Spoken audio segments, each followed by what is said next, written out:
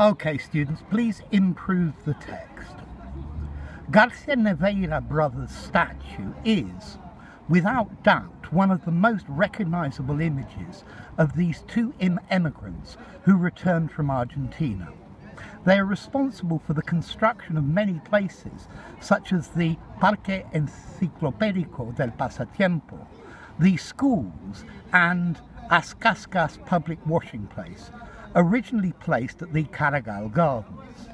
The image has a curious detail that cannot be unnoticed.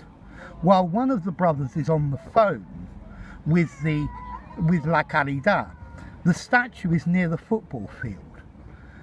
The other pointed when it was at the original location at one of the most charitable buildings, the Old People's Home.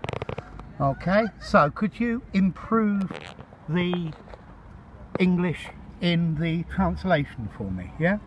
Okay, so improve the translation.